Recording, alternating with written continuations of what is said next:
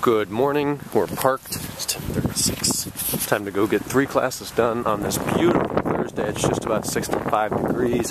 Not a cloud in the sky. It's good to be here.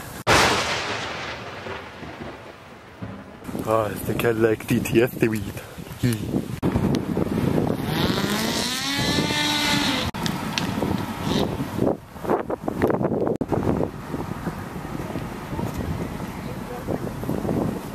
Yeah.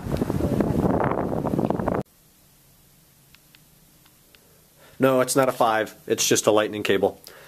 Made a uh, little unboxing video for the tech channel because, um, well, it's new. It's new technology. Maybe somebody wanted to see it. Turns out the little USB end's a little bit smaller, the cable's an inch longer, feels a little bit higher quality, and the lightning connector is tiny compared to the 30 pin. That video will go up today on Ryan Knows Tech, so check that out if you care. It's only like two, two and a half or three minutes. Um, I ordered this thing a week ago. It got here today ahead of the iPhone 5. But I figured, you know, since I've had, or since I have a lot of these cables, one for the 4S, one for the 4, one for the iPad 2. No, actually, I think I, I sent that one out with the iPad 2. But I, I, have three or four of these floating around the house, and with the 5, since it's a different connector, I'm always going to have the wrong table. Wrong table. The wrong cable. So I did buy another one. And the price is $10 cheaper. They're now only 20 instead of 30 So that is that. I did get more work done this afternoon over there. Got that yard done. Uh, so now that's three on that side, and the one over here, mine needs to be done. I've got leaves down, and it's kind of high. So maybe that'll get done this weekend. Update on the iPhone 5. The tracking number, uh, finally Apple sent me the email, but I figured out a few days ago how to get it from UPS with a reference number. So mine's delivering supposedly at my grandparents' house tomorrow morning before 10:30. So I'm going to go over there at 10. If it's already there, great. If not, I can stay until about 12, 15 to 12:30, and then I need to head over. I've got one class tomorrow, only 50 minutes, my favorite class, so there's no quarrels with that. Then I'll go back to his house if it didn't show up before and get it, and then I have to go and activate it at the AT&T store, which is going to be a zoo. It's going to be miserable to go and do that. So we will figure that out tomorrow, I suppose. Alright gang, uh, 8 o'clock-ish. It's really dark for 8 o'clock, that sucks. Anyways, I'm going to talk about that iPhone naming now. I know you probably can't see me because it's pretty dark out here, but um, let's start with this. Thunderbolt and Lightning.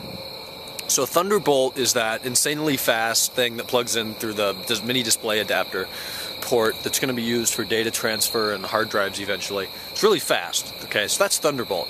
Now we have Lightning, which is the connector for the new iPhone 5, iPod Touch 7, whatever, all the new products, the new iPad 4 will have Lightning.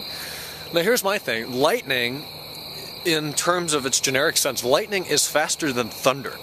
So calling that port Lightning, which runs at USB 2.0, 480 megs per second, which actually turns into about 3, um, versus the Thunderbolt, which is gigabit speed or 10 gigabit speed, whatever it is, it's really fast, that's backwards. So that makes no sense. Now, to iPhones. We had the iPhone. It made sense that it was just called the iPhone. Then we had the iPhone 3G. It was a second generation iPhone, iPhone called the 3G because of its networking capabilities on a 3G wireless network. Then there was the 3GS, still an iPhone 3G, now it's the third generation, and the S stood for speed. Then there was the iPhone 4, the fourth generation iPhone, not 4G networking. The 4S was the fifth generation iPhone, excuse me, still not 4G networking. Then there's the 5, the sixth generation iPhone on 4G LTE networking.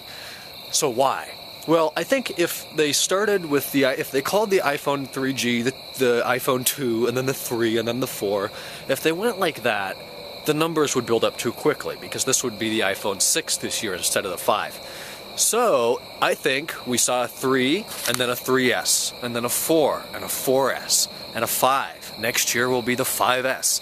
They'll take it, they'll figure out some new crazy processing technology they'll put in there, make it wicked fast and maybe maybe a, a more enhanced US OS.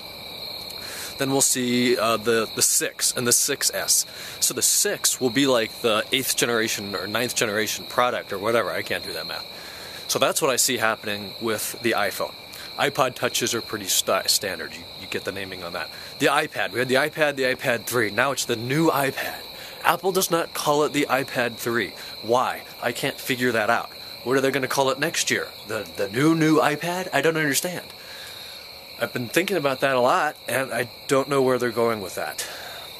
And maybe they don't want to do what they've done with the iPhone and put themselves in a perpetual loop of having to add a number to the product. So in 10 years, it'll be the iPad 10 or 13. But they can't just keep calling it the new iPad. I don't know. I don't want to talk forever about this. So leave me your thoughts below with where you think Apple's going with the naming of their devices. The other thing I was going to talk about yesterday was that uh, protest thing at, at, Kent State. I don't know what that was about. I was up in the student center watching YouTube. I watched this guy come up with a sign, and he stood there. He stood there with it and said, uh, "Jesus saves from hell" on one side, on the other side, "You need Jesus." And I thought, okay, whatever. It's a free country protest, or you stand there and peacefully protest. I don't. It's not protesting, but you stand there and say whatever you want to say. And a couple people started walking up, and it looked like they were arguing with him. He didn't make any, do anything wrong to argue back with him he just stood there with a sign, and then more and more people showed up, and then a cop came up and talked to him, and I thought, what's the cop doing? Come on, he know he's not doing anything wrong. Leave him alone. And then more and more people, and then this, somebody stood uh, near him with a big sign that says, "I don't believe in God, and I still have morals." And that's I probably wouldn't have done that. I agree more with that, but um, I am agnostic. For those of you who don't know.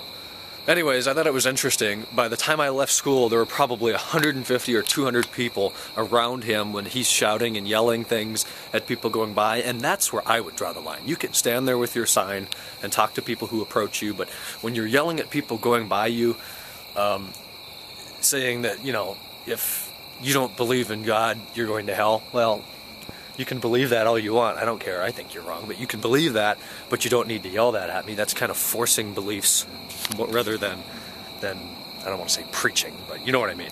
So that's what happened yesterday, and that's the thing with the iPhone naming. I'm sorry that took forever. So I got that video up. It's still nice outside. It's like 66 degrees. Usually by this time of the night it's in the 40s or 50s. Tomorrow, Friday, iPhone day. Going to grandparents' house at 10. Supposed to show up by 10:30. If it doesn't show up by 12:30, I'll go back and get it later. I think I already told you that. The new video's up. Working on the Watch Later playlist. Got some articles on Tech Inform. Talked with Mike yesterday. Been very productive this week. Hope we can keep it up.